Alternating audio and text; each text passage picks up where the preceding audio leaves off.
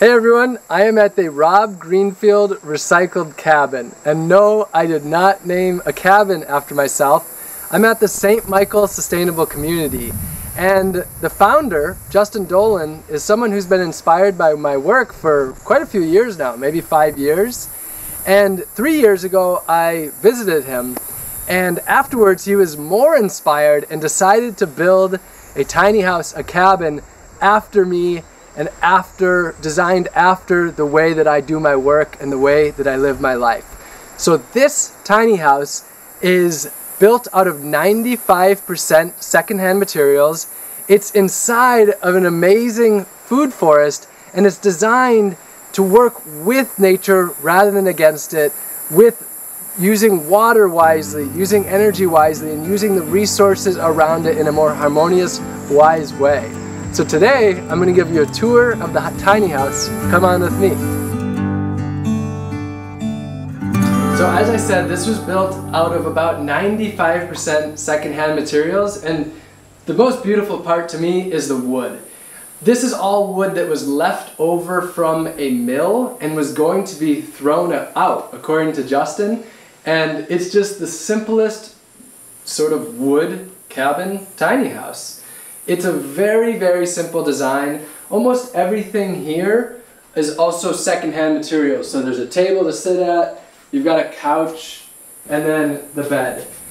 So, you know, that's kind of the living area. And again, you know, the, time, the house itself has pretty few materials used to, be, to build it. It's primarily wood. And as far as furniture items in here, it's about as simple as can be, and all of it together is about 95% secondhand materials. Oh, also, what size it is? The inside is about 12 feet wide by about 18 feet long, making it about 220 square feet, but it feels very spacious. And that's because there's not a lot of stuff the way it's designed.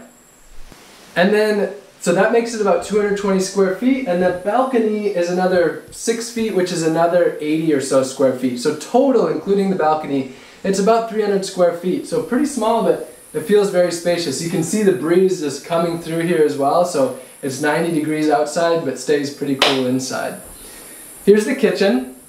So I want to talk a little bit about water. This house does a few great things. First of all, well, the water is well water, so it's not it's not chlorinated, it's not, doesn't have fluoride in it. It's just pure well water, which is great. Now, in most places when you have water, after it goes down the sink, it goes to a wastewater treatment plant. This water is gray water, so it actually stays on site and waters plants that are, that are food. It waters food plants. So a, a gray water setup, very basic. The shower is that as well, which actually I'll show you the, the bathroom now to stick to the water theme. The bathroom is, is quite simple. You've got a shower, again, gray water. So the water goes down the drain out onto the landscape and waters. Now the toilet, this is what's called black water. So this goes to a septic and then those nutrients also stay on site. They don't go to a wastewater treatment plant. You'll see the little garbage can upside down I have sitting here. I don't create garbage in here, so I don't need a can, but I do need a squatty potty. So that's what this is. This is a more natural way of sitting and helping with the flow. Same with the sink, gray water. So that is the bathroom.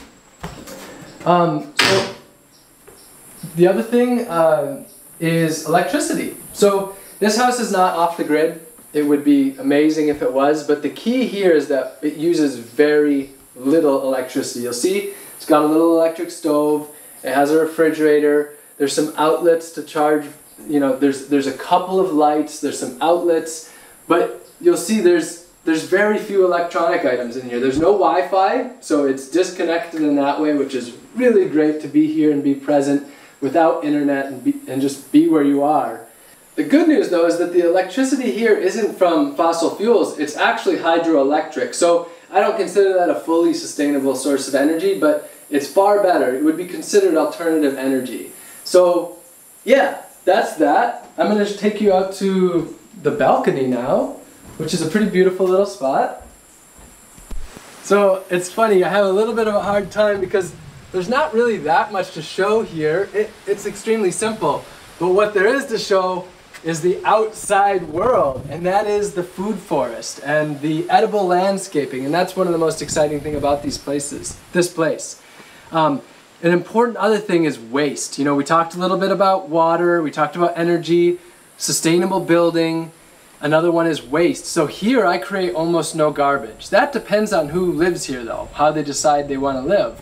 But one of the most important things is composting. So food scraps and and uh, paper and cardboard, all of that stuff is composted, not sent to a landfill to be actually kept on site to produce food. So holding in the nutrients for this food forest. There's beautiful mango trees out, trees out front. We've got bananas down here. Um, there's dozens of different fruit trees in the area.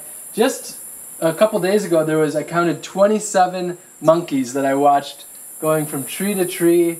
Uh, so it's, it's, it's really great. It's a place where you know, it's it's actually designed to work with nature rather than against it. Justin and the the community here, St. Michael's Sustainable Community, they want to bring more and more animals onto this land and make it a, a natural refuge for them. So, I know what some of you up there in Canada and northern United States are thinking. Well, some of you are thinking you want to get down here. But a lot of you are thinking, great, well you can do this because it's a warm climate. This is designed for the climate that it's in. If you look at your area, you will see underground houses, you will see earth ships, you will see straw bale houses. You have to design for where you live. There is a YouTube channel that I really recommend called Exploring Alternatives if you want to see situations that are for that environment. They cover a lot of different environments. But I want to talk a little bit about solutions. So what are the solutions that you can learn here and how and what are the solutions that you can do at home. So I'm going to share eight different solutions that can be done in any climate around the world. Number one, build with second-hand materials like this place, 95% second-hand repurposed items. So building with second-hand items. Number two, and that is furnishing with second-hand items. Things like the thrift store and Habitat for Humanity, uh, places where you can buy things secondhand, garage sales, getting things from friends from their overflowing garages. So second-hand materials. I'm going to talk a little bit about water now. So number three is gray water. Whether you're in the city or the countryside, if you're in a high-rise apartment, that's a, that's a different story. But for a lot of people, gray water can be done uh, very simply. The sinks, the showers, and laundry is one of the easiest places to start. Just sending your laundry using biodegradable soaps out to your landscaping. Now you can also just have a bucket in your shower so that that extra water, you can use that to water the plants. And you could feasibly carry that down from the upstairs apartment down or use that for your balcony. Of course, just using water wisely, reducing the amount of excess water in the first place. And then uh, number four, rainwater harvesting. This is something that millions and millions of us can, can do. Whether we're in the desert, that's where it's the most needed, or we're in a tropical climate, everywhere we are, we can do rainwater harvesting. Number five is edible landscaping. So not planting plants that really don't provide any benefit except beauty, but instead planting plants that provide food and medicine and are also beautiful. So edible landscaping, food forestry, front yard gardens, windowsill balcony or windowsill gardens or balcony gardens, growing food instead of lawns. Those those are you know something that that that so many of us can do whether we're in apartments um, or we're in you know residential areas, big houses. There's always ways to grow a little food and design our systems based on growing food rather than plants that are not benefiting us in as nearly as many ways or the critters around us. And now if you don't have space, then joining a community garden is something that you can do, or finding a friend who has space and growing food there and sharing it with them. Number six is composting. Uh, food scraps, yard debris like leaves and sticks and all of that, cardboard, paper, all of these things can be composted to create fertility rather than sent to the landfill.